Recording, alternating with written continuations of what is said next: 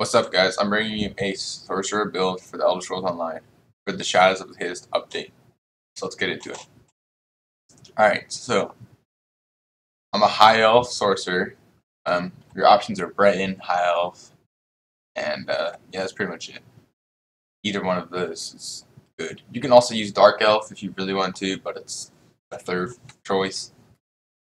I'm 64 points in the Magicka, and um, unbuff we have 36k Magicka, 37k on a Destro, 25k health, then um, 4, 13k stand, which is actually decent for um, just breaking free and whatnot.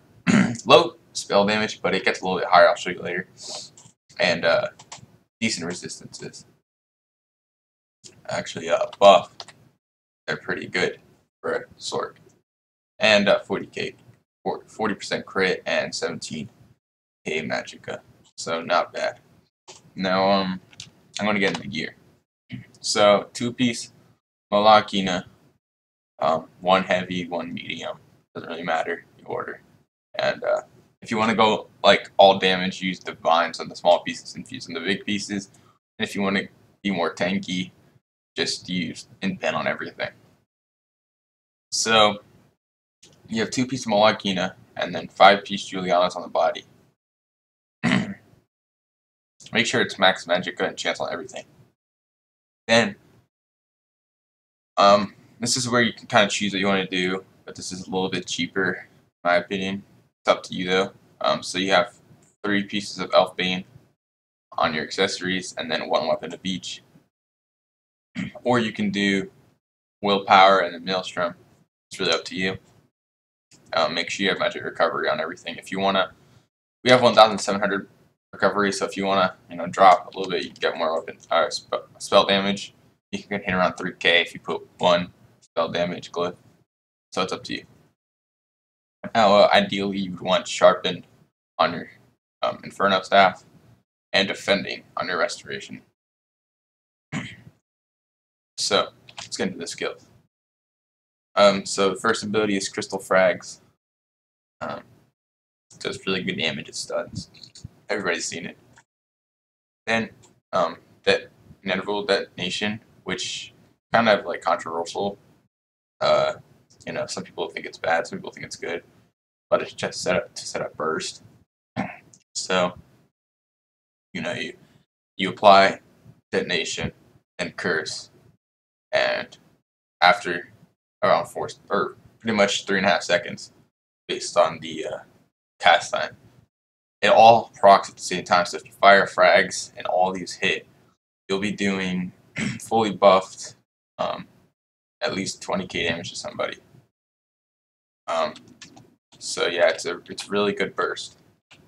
On our fourth ability, we have Structured Entropy, which uh, is just damage over time, and it gives us major sorcery, increasing our spell damage, and max health by 8%, which is really good. Then we have um, Bound Aegis, which increases our max magicka by 8% and gives us some resistances. On our back bar, we have Restoration Staff, which we have um, Hardened Ward. You can also run Harness Magicka if you're not liking your Magicka recovery, but this is just a bigger shield in general. Um, you get a 33% increase, so like a 11k shield. so it's pretty good. And uh, yeah, so you have Healing Ward, which shields you. It's just another shield. And Mutagen, which uh, is better than the other morph because it heals you if you get really low and removes harmful effects. Then Boundless Storm, which gives you more resistances and speed. and it's just decent AoE. Um, and then Bound Aegis again. And you have to have Bound Aegis on both, yeah, so you keep it up. Um, for the first one, I have Ice Comet for the first ultimate on the first bar. Uh, it's just a good burst. So if you can act, if you activate detonation, curse, call in a comet, and then shoot a frag, nobody's going to survive that. You burst. You can burst the best with this class. and then we have uh, Storm Atronach, which is uh, it's just a good back bar ultimate. You know, use it if you're in trouble. Now, uh, since we're running um, medium, heavy, and light, make sure you get all these passes. They all help. So, yeah.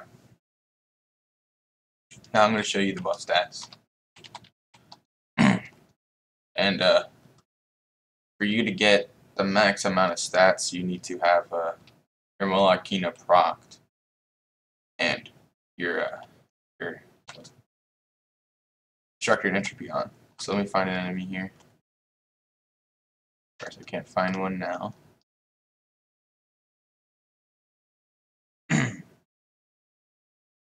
uh, alright, so right here.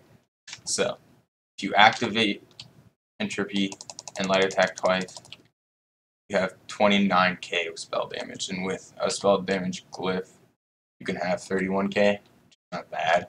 So this is the um the combo you use. So detonation, curse, and then call in the comet. And there you go. You saw that. That just did like had it been a real player, I would have done 40k damage, which nobody's living through. So yeah, it, the burst is really really good. Now, uh, last I have champion points I need to show you.